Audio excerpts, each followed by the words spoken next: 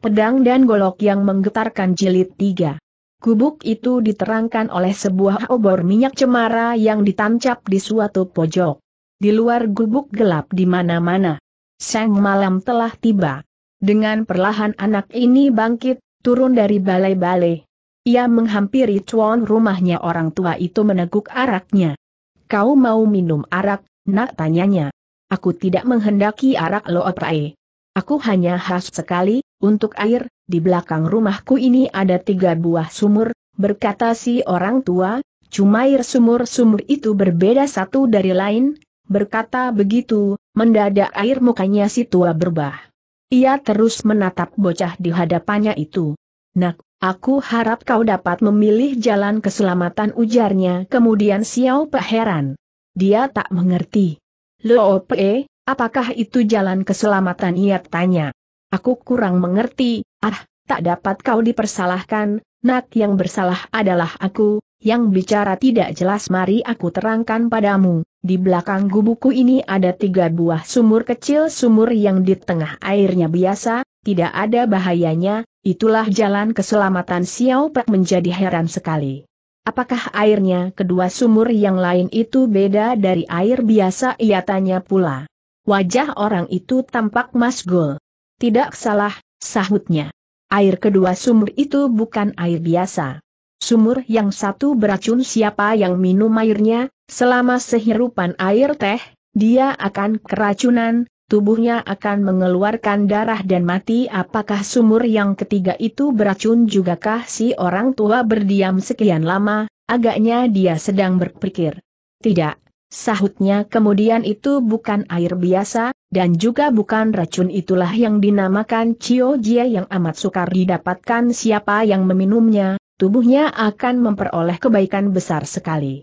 Ah nak, baiklah kau minum yang di tengah itu, dengan begitu kau dapat menemani aku tinggal di dalam lembah ini untuk dengan tenang melewati hari-hari kita yang mendatang, Xiao Pek menggoyang kepala. Tidak, sahutnya tetap. Aku hendak keluar dari tempat ini. Ayah bundaku menyuruh aku melintasi Seng Sukio, aku telah melakukannya aku tidaklah menyia-nyiakan harapan mereka sekarang tidak dapat aku melupakan dendam kesumat dari ayah bundaku ini. Bahkan kedua kakakku juga telah turut dibinasakannya. Maka sekarang ini, baik kaum Pek Hobun, ataupun keluarga Choh, akulah ahli waris tunggalnya. Selama aku hidup, Aku akan mencari sebab musabab dari kebinasaan ayah bunda dan kakakku itu, aku hendak membalas sakit hati mereka orang tua itu mengusut-usut janggutnya. Lembah Buyeu kok ini telah putus hubungannya dengan dunia luar, katanya kemudian, sabar. Di sini sudah tidak ada soal sakit hati dan permusuhan, soal budi dan penasaran nak andai kata ayah bundamu tidak terbinasakan musuh-musuhnya, mereka toh tak akan hidup selama-lamanya. Hahaha hidupnya manusia seratus tahun, itulah impian belaka.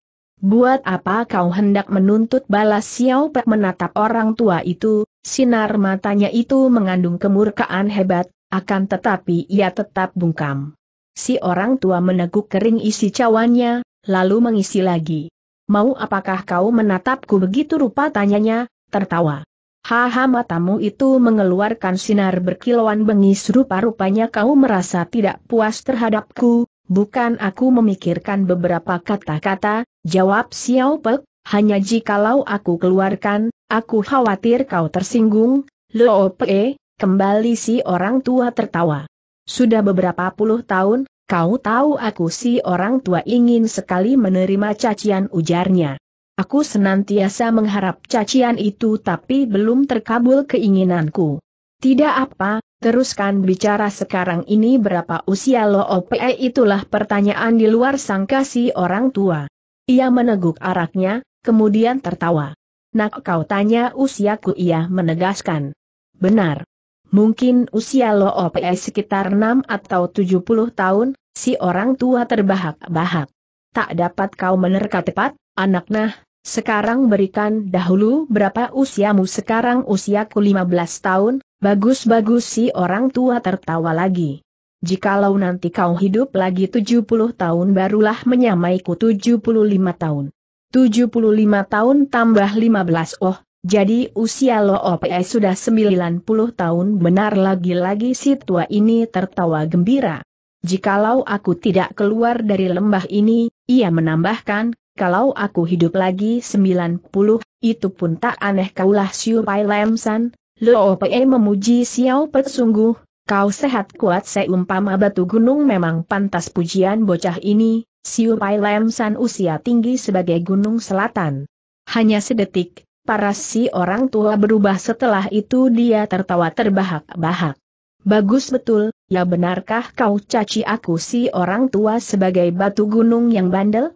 Bukan begitu maksudku, Lo Pai. Aku memuji usia panjang dan kesehatanmu kau manis sekali, nak aku lihat, kau ini nantinya pasti pandai mencaci orang, banyak-banyak warna-warni cacianmu itu aku ingin mendengarnya sementara itu Xiao Pet sangat dahaga, mulutnya terasa kering. Dua kali batuk-batuk. Baik aku minum dahulu, katanya.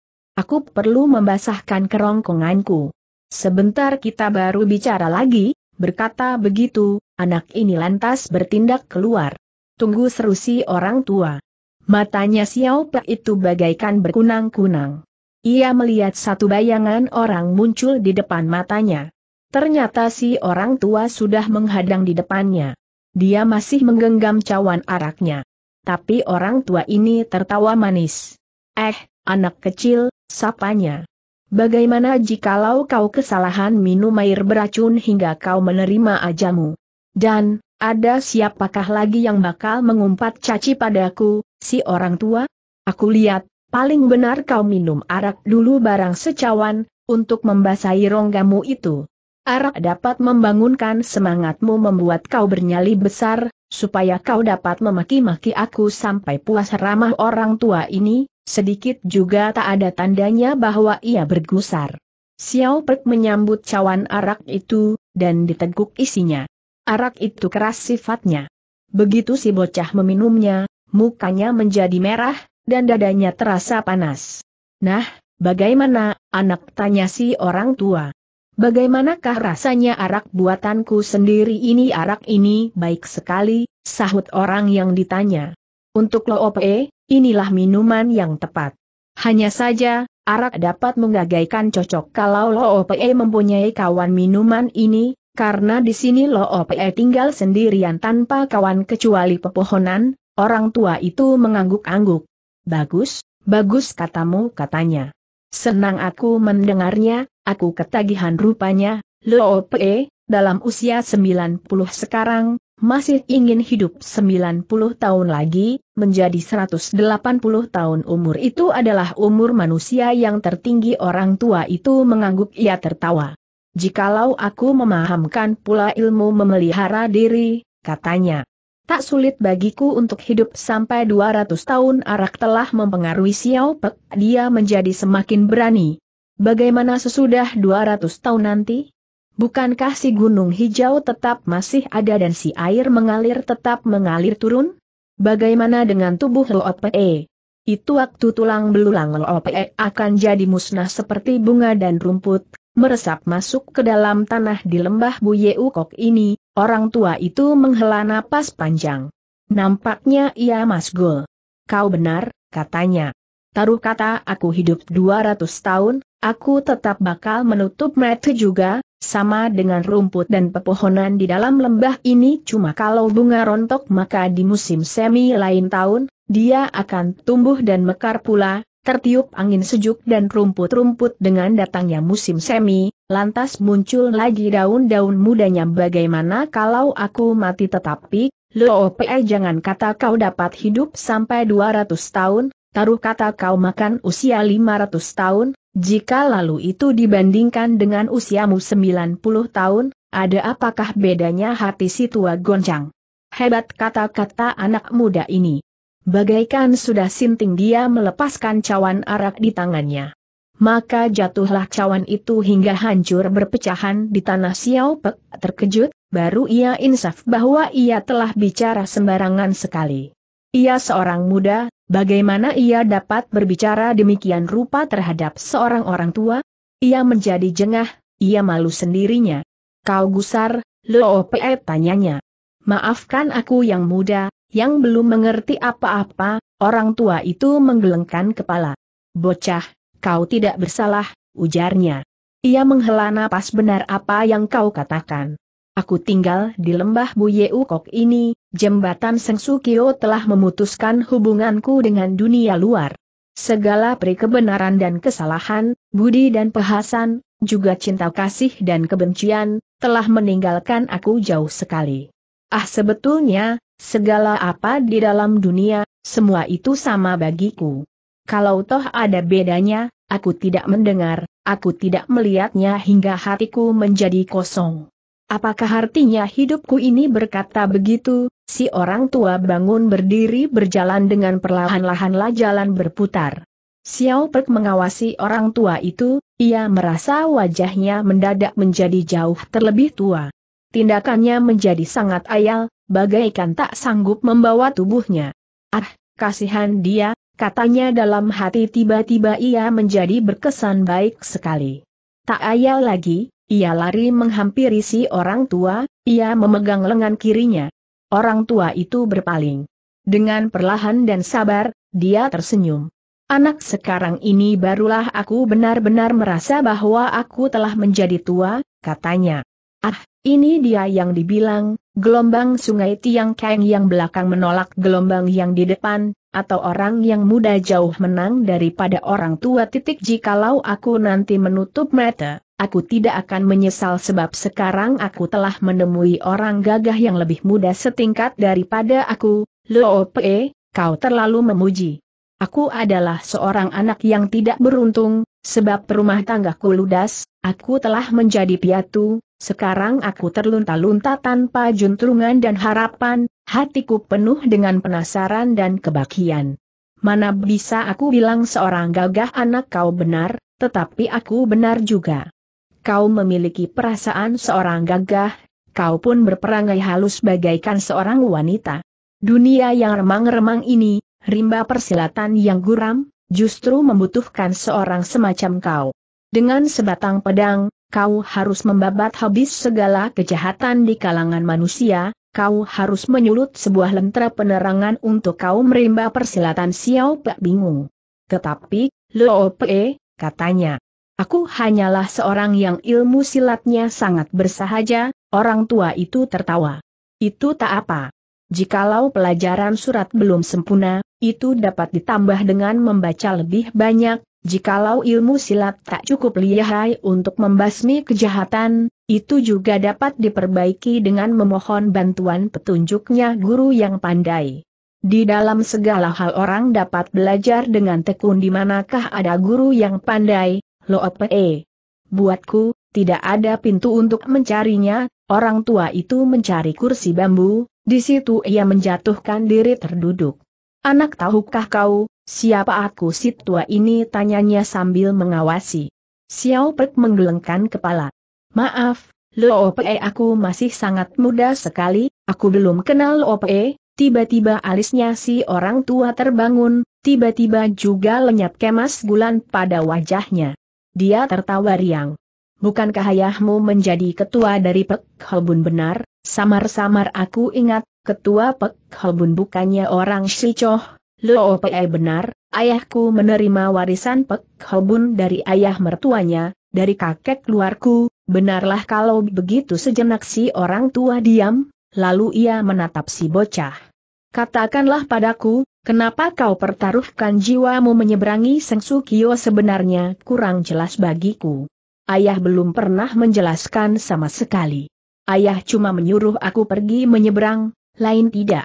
Tapi menurut pendapatku, Seluruh keluargaku dikepung-kepung musuh, dunia yang begini luas menjadi sempit, sampai tak ada tempat di mana kami dapat menaruh kaki karenanya jikalau aku tidak menempuh bahaya jalan dengan melintasi Seng Sukio, pasti musuh akan tetap mengejar terus-terusan orang itu tertawa pula. Selain dari itu tanyanya pula. Selain dari itu, aku tidak tahu apa-apa lagi, orang tua itu mengangkat tangannya, ia mengusap kepala si bocah. Lagi-lagi dia tertawa. Sebenarnya, katanya selang sesaat. Selain kau harus menyingkir dari musuh-musuhmu, supaya kau mengadu untung Xiao Pek heran hingga dia melengak. Untuk aku mengadu untung dia menegas. Tidak salah orang tua itu memastikan supaya kau adu untungmu, anak, si anak tetap menatap. Anak yang baik, sejak ribuan tahun yang lalu, jembatan maut ini memang sudah ada, berkata pula si orang tua kemudian, cuma dulu-dulu itu, namanya tidak dikenal, tidak ada yang menyebutnya tak sudi aku si orang tua merampas jasa. Jembatan ini menjadi tersohor disebabkan oleh karena aku bersama seorang sahabat kekalku telah menyeberanginya. Hingga sekarang Seng Sukio menjadi sangat termasyhur Xiao Pek benar-benar tidak mengerti. Aku kurang paham, Lo Pe, katanya. Orang tua itu menghela nafas perlahan Xiao Pek mengawasi terus, ingin memperoleh penjelasan pada mulanya, Entah siapa yang telah menemukan jembatan maut ini, berkata orang tua itu. Katanya ditemukannya pada ratusan tahun yang lalu. Semulanya jembatan ini dinamakan Sukio Jembatan Kematian titik. Maksudnya ialah, siapa yang melintasi jembatan, pasti dia tak usah memikir hidup lagi, oh begitu kata Xiao Pek, kagum berbareng heran. Jembatan itu memang luar biasa sekali, si orang tua berkata pula. Pertama-tama dia melintang di atas sebuah jurang, yang selokannya dalam sekali dan airnya deras hingga merupakan pusar air. Sudah begitu di situ pun ada terdapat angin keras, angin yang berubah menjadi angin puyuh yang tenaganya sangat kuat. Yang lebih mengherankan ialah kabutnya, atau uapnya, yang hitam, yang menyelubungi hampir seluruh jembatan itulah sebabnya kenapa sukar untuk orang melintasi jembatan ini walaupun dia seorang ahli silat yang lihai. Sudah ada banyak orang kosen yang mengorbankan jiwanya di sini, sebab mereka diserbu angin puyuh dan tergelincir ke dalam jurang. Begitulah, jembatan itu dipanggil Tsukio, jembatan kematian tetapi, Loope, Kenapa dan selanjutnya dia disebut Seng Sukio jembatan hidup mati ditanya begitu, si orang tua memperlihatkan wajah gembira, alisnya sampai terbangun. Itu ada hubungannya dengan aku si tua, ada hubungannya dengan Lo Ope betul orang tua itu tertawa. Xiao Pek menatap pula.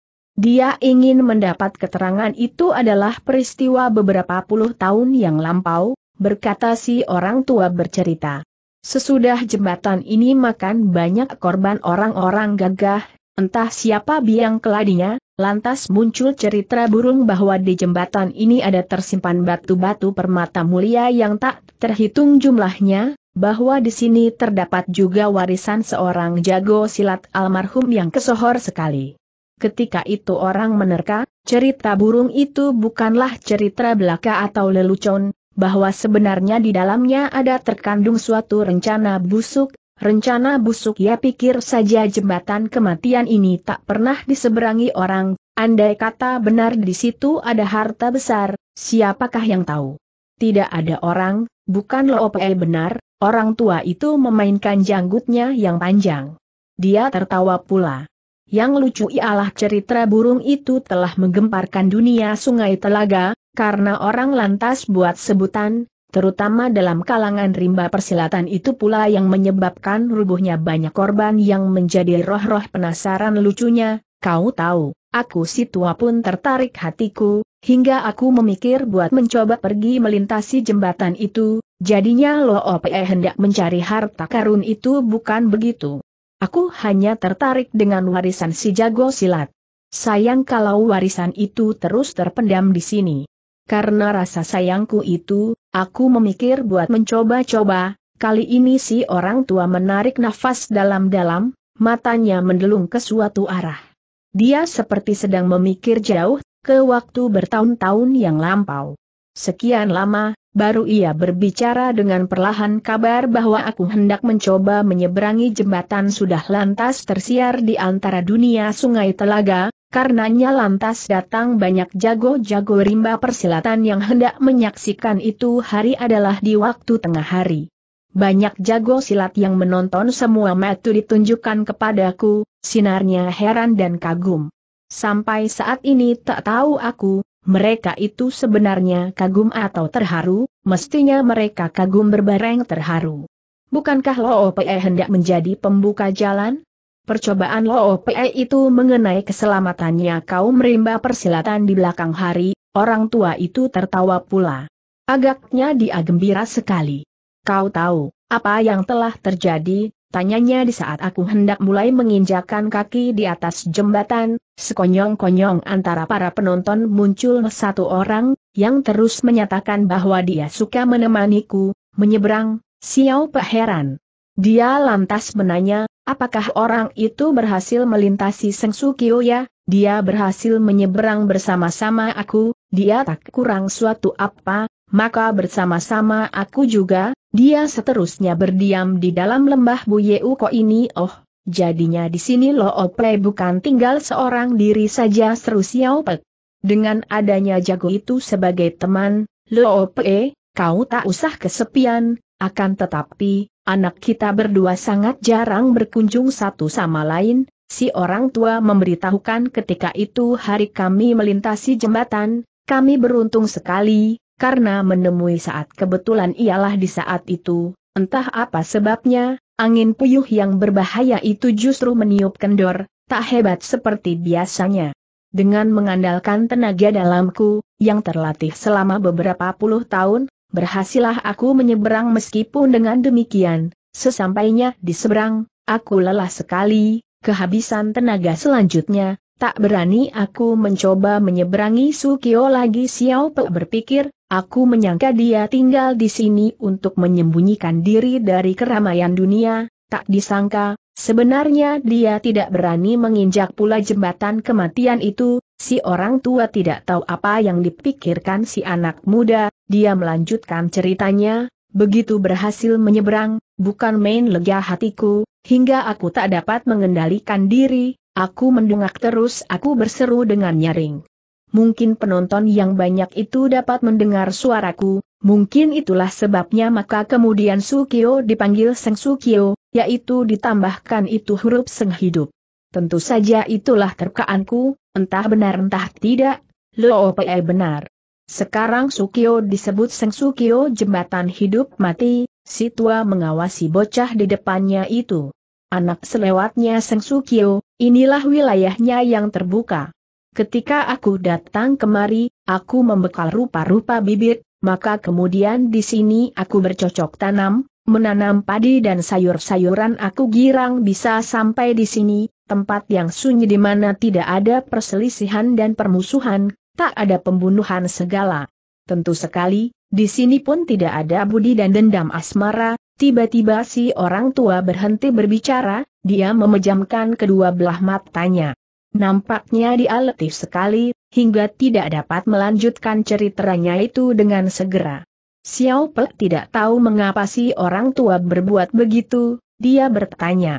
Lo Pe, selama beberapa puluh tahun ini, apakah Lo Pe tidak pernah mendapat pikiran akan keluar dari tempat ini orang tua itu menarik napas panjang, dia membuka kedua matanya. Dia menatap si anak tanggung. Hanya sebentar dia memejamkan matanya pula. Tapi dia kemudian menjawab, pernah aku pikir. Tapi itu cuma pikiran saja.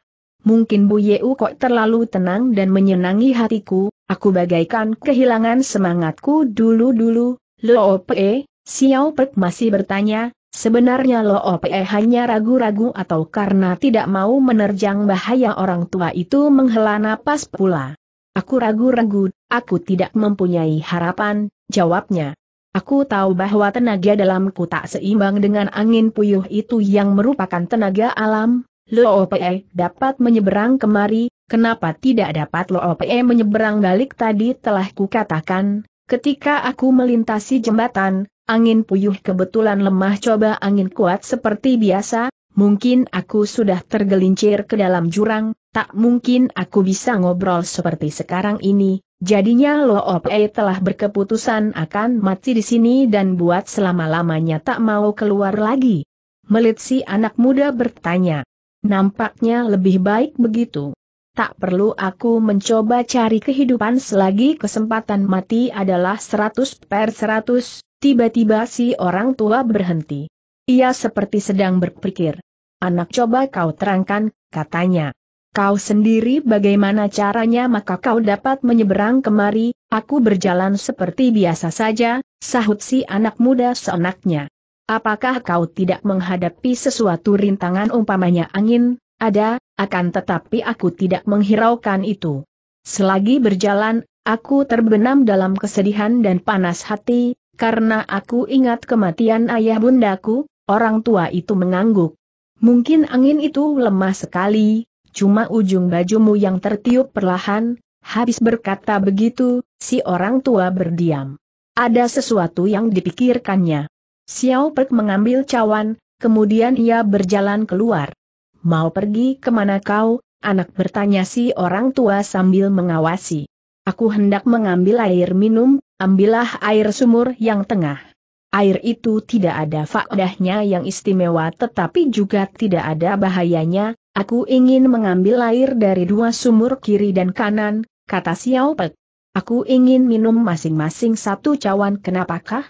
Ah, anak tabiatmu keras bukankah Lo Pe bilang salah satu sumur itu ada ciojenya yang umurnya ribuan tahun, yang kalau diminum ada faedahnya, dapat membuat panjang umur dan menguatkan tubuh benar tapi kau jangan lupa, air sumur yang lainnya adalah racun dan siapa minum itu, dia pasti akan lekas mati hendak aku coba, buat mengadu untungku orang tua itu membelalakan matanya.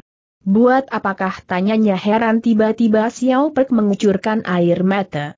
Ayah bunda kedua kakakku, semuanya telah terbunuh secara menyedihkan, sahutnya, aku menjadi anak dan saudara, akan tetapi aku tidak mampu menuntut balas, dengan tetap mendendam saja, buat apa aku hidup di dunia. Aku malu. Maka kalau aku minum air beracun itu, aku bakal mati, dengan begini dapat aku menyusul ayah bunda dan saudara-saudariku itu di dunia baka, mendengar itu si orang tua tertawa. Jika kau minum air sumur yang satunya, yaitu Ciojie, hingga tubuhmu menjadi sehat, bukankah itu berarti kau hidup terlebih lama toh sumurnya ada tiga, bukan benar sumur yang di tengah, air biasa saja, aku tak membutuhkan itu. Dari sumur yang dua lagi, satu adalah Ciojie, satu lagi racun jikalau aku kena ambil Ciojie, apakah aku tidak bisa ambil pula yang lainnya orang tua itu melengak. Oh, anak, rupanya kau berkeputusan untuk mati, benarkah hidup terus berarti menambah kesengsaraan hati, karena itu, bukankah lebih baik aku mati saja kata si anak muda. Jangan terburu mati, anak berkata orang tua itu. Hari soal sangat mudah. Hanya sebelum kau mati, ingin aku menasehati kau, lebih baik kau jangan mati. Coba pikir kalah memangnya kau berniat mati, buat apa kau menyeberangi Seng Sukyo, jembatan maut itu aku tidak mau membuat tayah bundaku putus harapan serta kakakku berduka, anak kau agaknya tidak tahu persoalan jawablah, Apakah ayahmu juga berpendirian serupa denganmu berpikiran pendek? Siapa bilang ayahku berpikiran pendek? Bertanya si bocah. Ayah memperkuat Pek Holbun hingga Pek Holbun dapat berdiri tegak seperti sembilan partai besar lainnya. Jikalau ayahku bukannya cerdas dan gagah, bagaimana mungkin dia memajukan partai kami? Bahkan ayahku lebih menang daripada kakek keluarku aku tetap menganggap dia berpikir pendek berkata si orang tua. Di dalam dunia di mana-mana terdapat bukit-bukit yang hijau, karena itu, kenapa untuk mengubur tulang belulang kita, mesti-mesti memilih Seng Sukyo sebagai tempat kuburannya jikalau pikiran ayahmu tidak pendek? Buat apa dia mengajak kau merantau dan menderita sengsara menyeberangi Seng Sukyo buat hanya mencari mati di jembatan itu tetapi lo OPS seandainya kami sekeluarga dapat menyeberang bersama, hingga kami dapat tetap berkumpul bersama, sudah tentu aku tidak akan mencari mati jikalau begitu, Semakin nyata betapa pendek pikiran ayahmu itu Xiao Pe heran, dia menatap Melongo. Apakah yang tak tepat? Lo Pe ia bertanya. Mungkinkah ayahmu tidak ketahui berbahayanya Seng Sukyo? Sekalipun kamu tidak sedang dikejar-kejar musuh, di dalam keadaan seperti biasa, bagaimana mungkin kau menyeberangi jembatan itu dengan selamat tak kurang suatu apa? Jikalau ayahmu tidak pendek pikirannya, tidak nanti dia menyuruh kau melintasi Seng Sukyo kembali Xiao Pei melengak. kau benar juga, Lope, akhirnya ia mengakui. Maka itu, anak, berkata si orang tua, mesti ada sebabnya kenapa ayahmu menghendaki kau, menyeberangi Seng Sukyo, Xiao Pe jadi berpikir. Mungkin ayahku, seperti kau, Lope, telah kena terpedayakan orang-orang sungai telaga, mengapa begitu sebab aku ingat kata-kata ayah. Ayah berpesan sungguh-sungguh kepadaku bahwa tanggung jawab menuntut balas terletak pada bahuku, karena dalam keluarga kami, akulah yang berbakat paling baik. Semua keluargaku pun sangat menyayangi aku, aku telah dibelah mati-matian selama kami dikepung-kepung musuh, ayah bunda dan saudara-saudariku semua telah terlukakan, kecuali aku, si orang tua mengawasi bocah itu, dari atas ke bawah dan sebaliknya. Benar katanya memuji. Benar bakatmu baik sekali bakat istimewa Xiao Pek menghela napas. Ayah juga mengatakan bahwa rezekiku besar sekali, benar aku pun melihat kau berrezeki besar Xiao Pek berdiam. Selang sesaat baru ia berkata pula, rupanya pandangan ayahku sama dengan pandangan Loope, karena ayah dan Loope telah ditipu orang.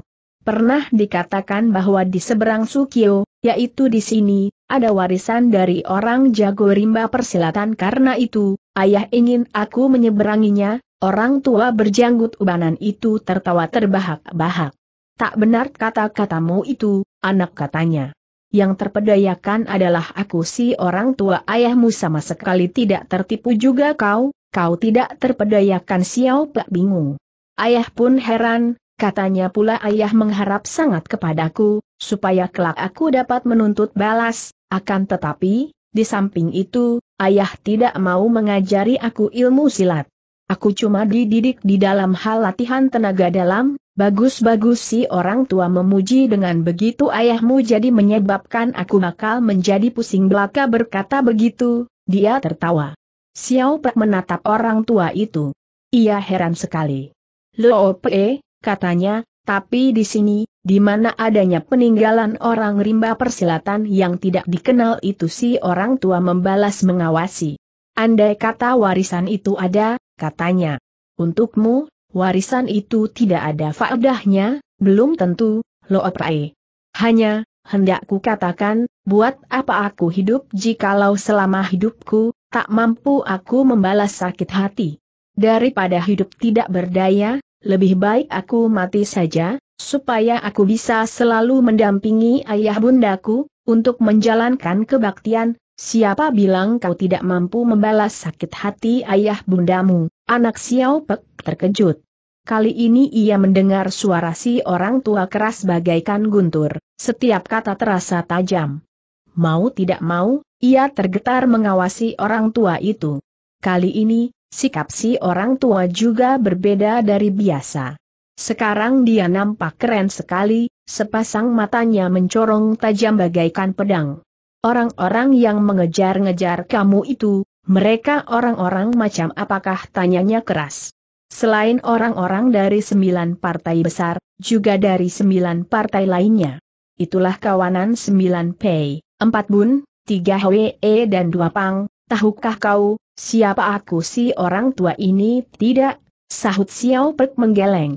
Akulah si orang Shikyai bernama Tong.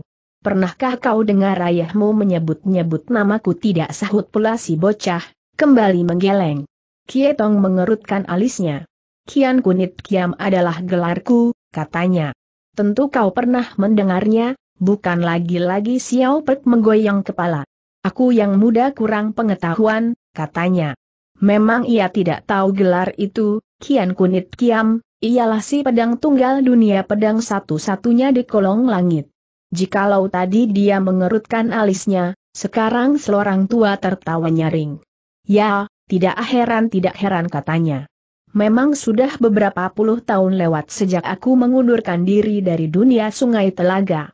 Ketika itu mungkin ayahmu belum munculkan diri, hingga ia pun menjadi tidak tahu karenanya sebenarnya ayah luas pengetahuan umumnya.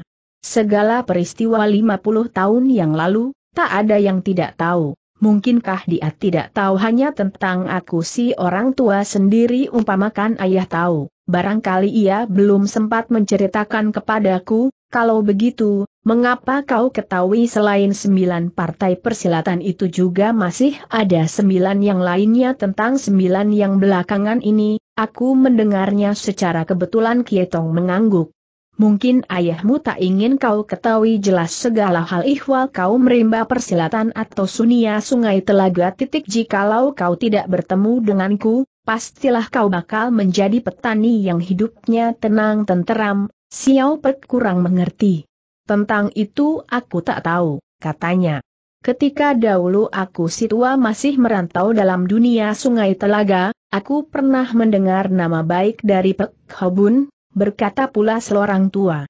Kenapa kemudian dia telah dimusuhi oleh dunia persilatan hingga mendapatkan nasibnya sebagai sekarang ini ayah gagah luar biasa, kata Xiao Pek jikalau dia tidak dikepung oleh jago-jago kenamaan yang berkompeten, tidak nanti Pek Hobun musnah dalam satu malam Matu Kietong bersinar. Apa? Mereka berkomplotan.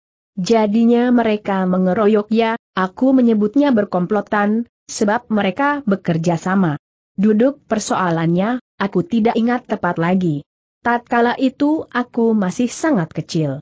Apa yang ku tahu, ialah mereka datang di waktu tengah malam, Tiba-tiba api obor menyala-nyala dibarengi dengan suara riuhnya penyerbuan itu.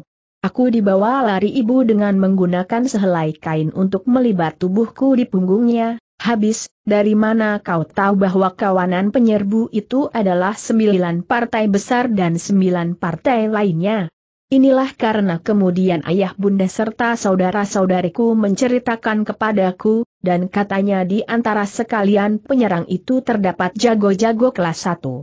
Pek mempunyai ada 36 murid, mereka itu bersama-sama seluruh Choh Kipo yang terdiri dari beberapa ratus jiwa, telah terbinasakan semua, kecuali kami berlima, tak dapat anak ini menahan kesedihan hati, air matanya keluar bercucuran akan tetapi, sambungnya, sesudah menyingkirkan diri selama delapan tahun dan bertempur terus-menerus beberapa ratus kali, pada akhirnya toh, keluargaku terbinasa juga.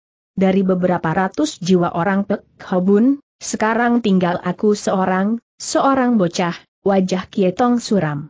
Dia menarik napas panjang. Ya, sudahlah yang mati biarlah mati, ujarnya kemudian selanjutnya adalah tugasmu untuk menuntut balas pada semua musuh-musuhmu itu Xiao Pek menghela napas. Hanya saja, Lo Pe, niatku ada, tapi tenagaku, Kietong menggoyangkan tangannya, mencegahnya bicara terus. Kesembilan partai itu biasa mengagungkan diri sebagai partai yang mengutamakan akan kejujuran dan keadilan, apa mungkin tak ada satu jua di antaranya yang hendak membelai pihakmu? Mereka semua telah melibatkan diri. Tidak ada satupun juga yang dapat diharap, kesembilan partai besar itu dan kesembilan partai lainnya semua terdiri dari jago-jagonya rimba persilatan yang berkenamaan, jikalau bukannya ayahmu melakukannya sesuatu yang hebat sekali, mungkinkah mereka itu sampai membasmi Pek Hobun hingga ke akar-akarnya, Xiao Pek menghela napas pula. Di dalam hal itu, sebenarnya aku pun merasa heran, katanya. Pernah aku menanyakan ayahku, apa kata ayahmu itu Kietong memutus cerita itu. Ayah mengatakan kepadaku, bahwa pihak kesembilan partai besar itu serta kawan-kawannya tidak mau memberi kesempatan kepada ayah menanyakan sesuatu. Ketika itu aku masih kecil sekali, aku belum mengerti apa-apa, Walaupun aku mengalami banyak pertempuran mati hidup, aku mengingatnya samar-samar, aku tidak menyadari bahwa aku menjadi besar dalam perlarian muka Kietong memperlihatkan cahaya kemurkaan katanya sengit. Kesembilan partai besar itu dan kawan-kawannya sudah melakukan pembokongan, juga tak mau memberikan orang untuk meminta keterangan, kalau demikian adanya, nyatalah mereka yang bersalah kakak perempuanku pun mengatakan demikian, berkata Xiao Pak menambahkan. Mulanya aku menyaksikan kakakku, dan setelah terjadi peristiwa yang paling belakang ini, maka aku baru percaya bagaimana pendapatmu itu sebab aku telah lihat sendiri, Bagaimana musuh menyerang dan membinasakan keluargaku mereka menyerang serentak dan mengeroyok sampai ayah tak sempat bicara lagi Kietong terdiam, tangannya mengelus janggutnya. Hektometer ia memperdengarkan suara di hidung. Sekarang, aku hendak bertanya padamu, nak.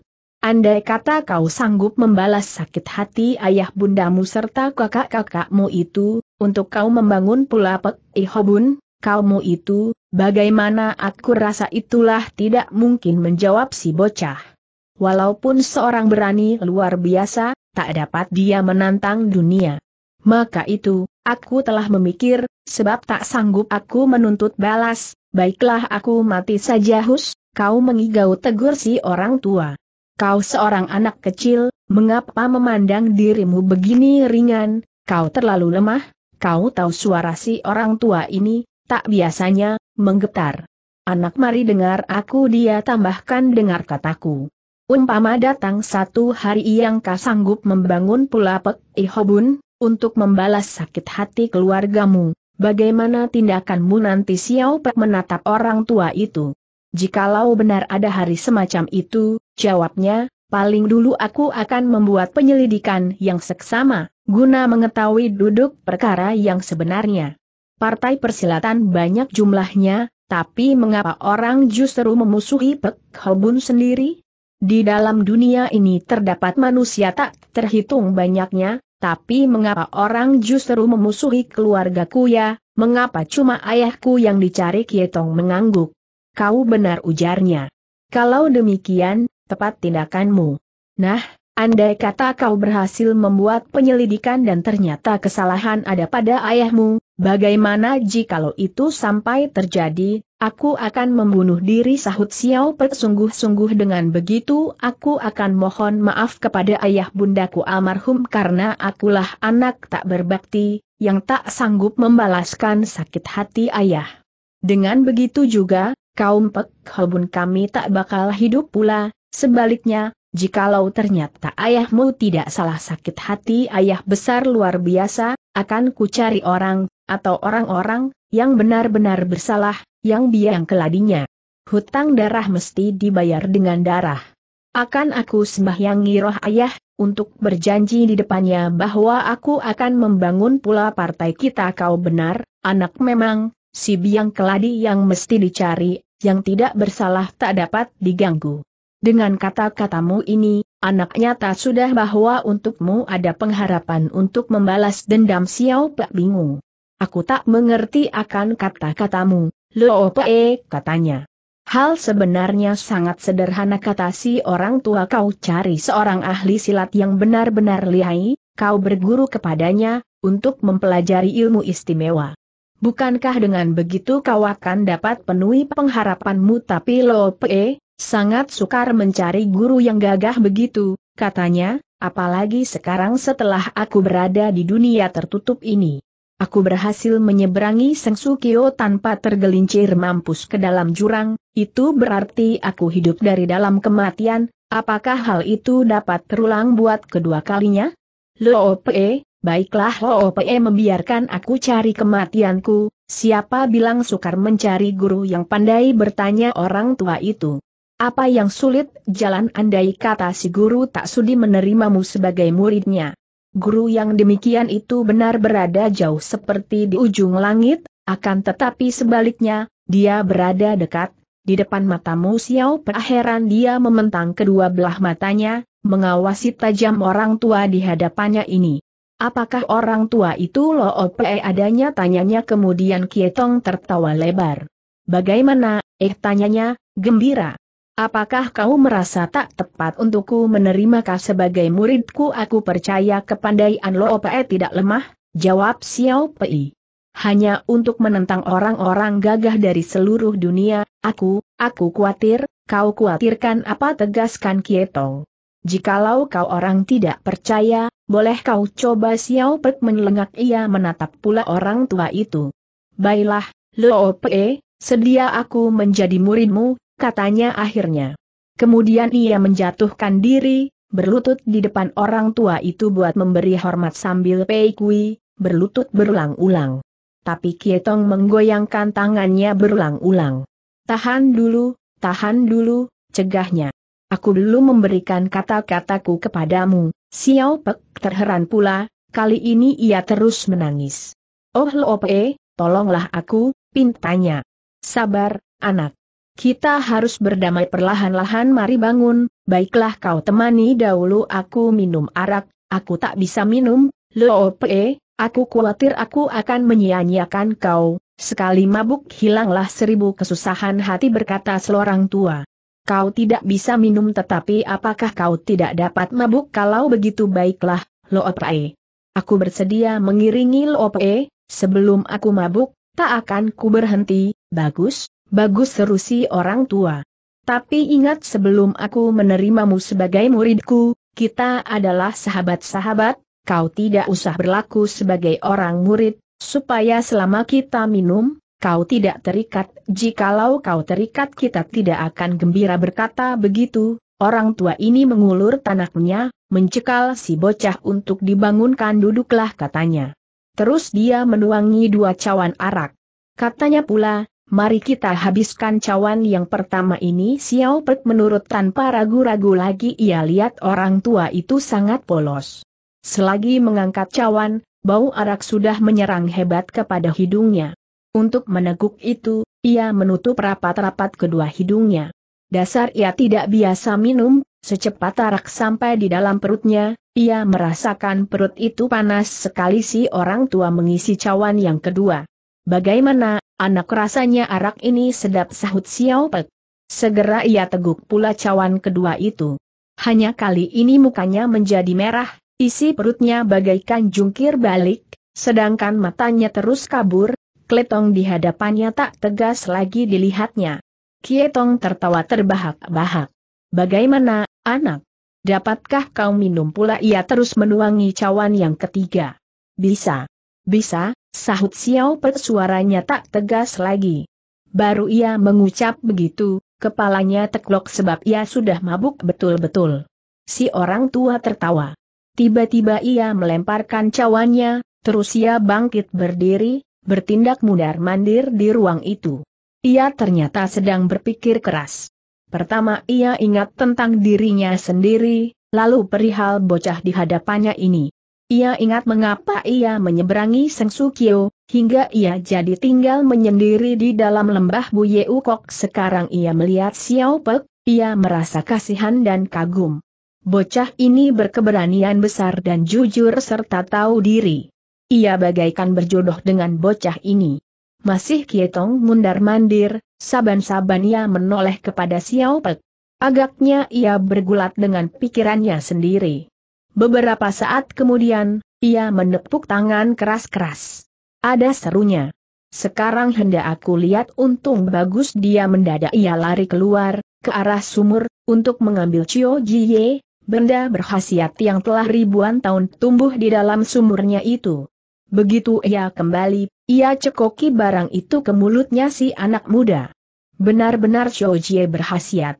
Hanya sebentar Xiao Pek tersadar, mabuknya lenyap. Dia mengucak-ucak kedua biji matanya.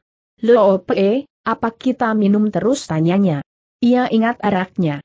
Kietong tertawari yang ia mengulur sebelah tangannya, untuk mengusap-usap rambutnya bocah itu. Ya, minum, minum terus sahutnya. Tapi lebih dahulu kau harus dengar kata-kataku ia hening sejenak segera ia meneruskan anak tahukah kau kenapa aku si tua tak suka menerima kau sebagai muridku? Mukanya Xiao Pak pucat dengan tiba-tiba. Ia kaget sekali. Mungkin disebabkan aku sangat dogol, jawabnya. Tentulah karena aku tidak berbakat maka Lo Ope tidak tertarik kepadaku, berulang-ulang orang tua itu menggeleng kepala. Tak tepat terkaanmu itu, katanya. Bakat sebagai kau, walaupun bukan yang paling bagus, tapi sudah sulit untuk memilih yang lain Xiao mengerutkan alisnya. Habis tanyanya. Mungkinkah itu disebabkan aku tidak kuat minum kietong tertawa terbahak-bahak. Makin jauh kau menerkanya, anak tiba-tiba orang tua ini berhenti tertawan, ia tidak tersenyum pula. Sebaliknya ia memperlihatkan Roman sungguh-sungguh anak tahukah kau maksudnya seseorang belajar ilmu silat tanyanya. Anak muda itu melengak. Maksudnya itu berbeda-beda, ia menyaut. Tentang aku, ia menghela nafas. Aku hanya untuk menuntut balas ayah bundaku serta saudara-saudariku, ya, untuk semua anggota keluarga Pek Hobun Terang, itulah pembalasan untuk urusan pribadi, bukan untuk umum, Kietong menggoyang kepala, dia tertawa. Memang urusannya ialah urusan pribadi.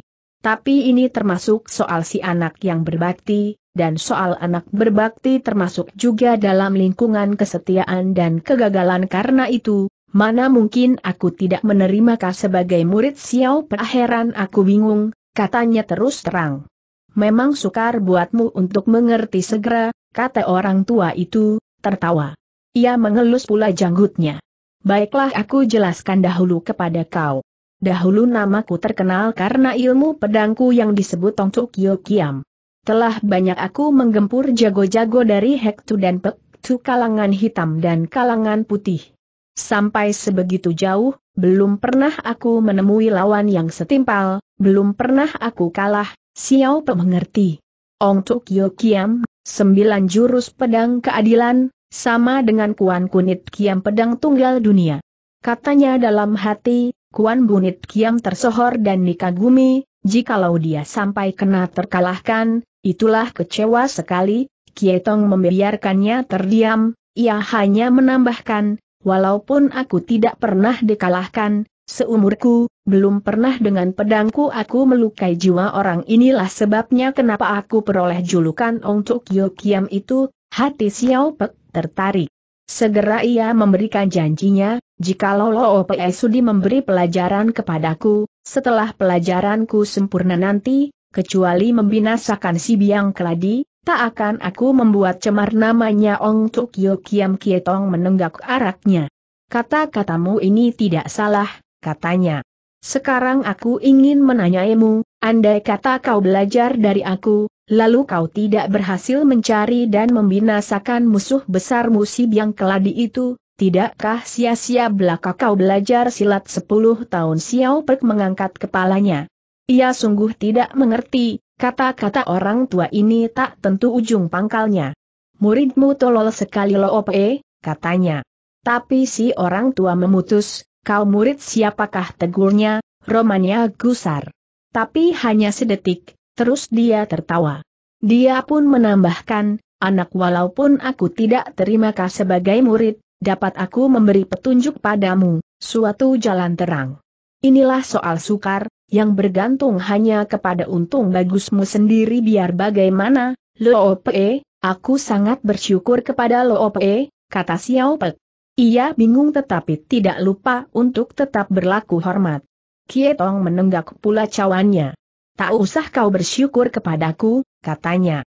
Bukankah kau masih ingat bahwa aku pernah memberitahukan kau bahwa di dalam lembah ini masih ada seseorang yang lain? Apakah kau tahu nama orang itu Xiao Pek menggoyang kepala? Lo apa belum pernah menyebutnya, bagaimana aku tahu katanya tersenyum. Dialah seorang Shikyang dan namanya Go orang tua itu memberitahukan. Dialah yang dijuluki Hawan Ohit tu si golok tunggal dunia seorang diri, Xiao Pak menggumam, Kian Kunit Kiam Huan Ohit tu. Kalau mendengar julukan itu, Lo Pe, dia agaknya sama terkenalnya sebagai Lo Pe sendiri, begitulah sedianya. Dahulu orang menyebut kami berdua lempek, Jeseng, dua nabi selatan dan utara. Kami merasa malu sendiri, kami tidak berani terima julukan itu. Nabi? Itulah hebat Xiao Pek menjadi tertarik hati. Akhirnya ia masgul sendirinya. Ayahku menggunakan golok, katanya kemudian, tetapi jago tua itu mendapat nama ahli golok di dunia, pastilah ilmu goloknya tak ada lawan, memang benar ahli. Aku dipuji sebagai ahli pedang, itulah dusta belaka, tetapi dia, Dialah ahli golok asli benar-benar Xiao Pek kebingungan aku tak mengerti, katanya. Kietong tertawa. Jikalau kau mengerti, tak ada gunanya aku ngomel lagi, katanya. Terus ia berpikir, sekarang masih siang, minumlah lagi, kalau nanti kau mabuk, akan kubangunkan Xiao Pek menurut, diteguknya araknya. Kietong puas melihat tingkah bocah itu. Dia tertawa. Sia-sia belaka aku disebut sebagai jago pedang, katanya, sedang ilmu pedangku cuma sembilan jurus saja, si siluman Shiki yang itu disebut jago golok tunggal, itu memang benar. Ilmu goloknya hanya satu jurus di dalam hatinya, Xiao Pek tertawa. Kembali orang tua ini bagaikan mengigau, bicaranya tidak karuan pikirnya pula, dia menyebut sebatang pedang, sebatang golok, apakah artinya itu berpikir begitu, bocah ini tertawa. Ilmu golok jago tua itu cuma sejurus, tentunya jurus itu dapat dirubah-rubah katanya. Dapat dirubah-rubah menegaskan Kietong heran kau maksudkan berapakah lawannya umpamanya musuh hanya seorang. Bagaimana kalau musuh itu hebat luar biasa buat kawanku itu, semua sama saja, dia cukup dengan satu jurusnya itu. Inilah sebab, kalau goloknya tidak dihunus, tidak digunakan, tidak menjadi soal, tapi satu kali dia menghunus dan menggunakannya, maka tentulah lawannya terluka siapa terluka, dia mesti terbinasa. Itulah sebabnya dia disebut juga patu itu, golok kekerasan atau toan beng itu golok memutuskan nyawa. Pasti itulah sebuah nama buruk. Akan tetapi walaupun Xiang Gou tak dapat diajak bicara, dia sebenarnya bukan seorang yang buruk, Xiao heran hingga dia menggumam pula. Gao Tu Siu Kiam. Patu itu, Ong Tu E Kiam. Toan Beng Tu, tiba-tiba ia ingat sesuatu, lantas ia bertanya, andai kata Ong Tu Cie Kiam bertemu dengan Toan Beng Cie Tu, Bagaimanakah kesudahannya Kietong melengak? Ia heran atas pertanyaan yang tidak disangka-sangka itu. Sebentar kemudian ia pun tertawa lebar. Aku tidak berani mencoba pedangku terhadap golok itu, ia mengakui terus terang, dan Xiang Gou juga tidak berani memakai goloknya buat menguji pedangku. Dia tidak berani mempermainkan nama besarnya itu, kami berdua tidak bermusuhan satu sama lain, di antara kami siapa pun tidak berani mencari kesulitan sendiri.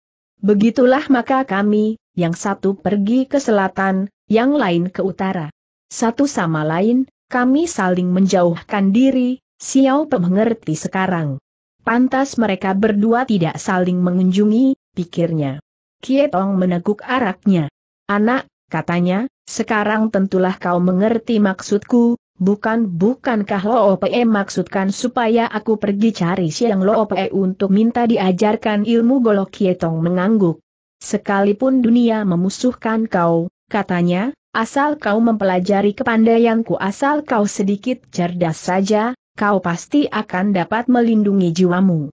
Sebaliknya, jikalau kau memikir menuntut balas sakit hatimu, supaya bisa kau membunuh si penjahat biang keladi, tak dapat tidak kau mesti dapatkan ilmu golok si orang yang itu Xiao Pe diam, otaknya bekerja.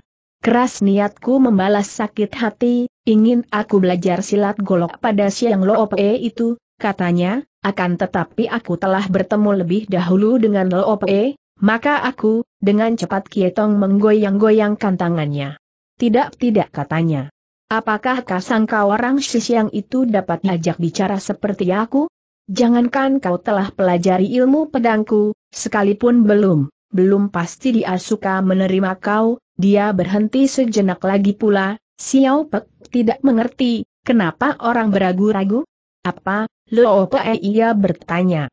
Kietong mengawasi, dia berkata dengan sungguh-sungguh, kau baru mengalami kesusahanmu ini, niatmu menuntut balas sangat keras, hatimu sedang marah, Andai kata aku mengajari kau silat pedang, belum tentu kau dapat memahaminya sampai sempurna.